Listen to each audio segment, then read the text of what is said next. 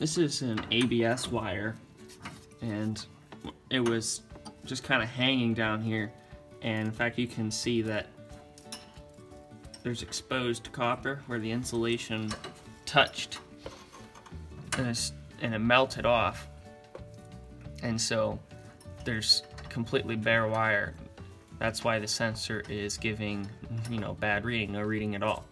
So we need to replace this length of wire I've clipped off the connector so we can attach that once we have a, a new strand of wiring. And I'm just going to follow it back until it's, I see where it's good.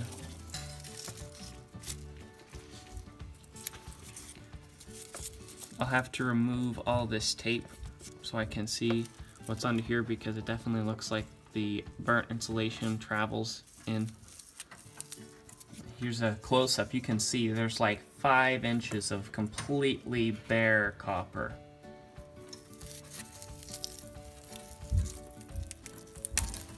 I've unwrapped this uh, tape around the wire and revealed it far enough back that I can see several inches of, of uh, clean, good condition wire and I'm going to find a place to cut it and then replace it after that point. I'm using a drill to twist up the wire, make it look nice.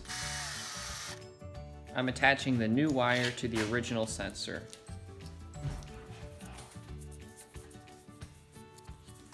It's all attached, the new wire is there, and I'm going to reroute it up and over the shield where it was before fed the wire through and I have it all taped off so that it's not not tight but um, it's not hanging around now.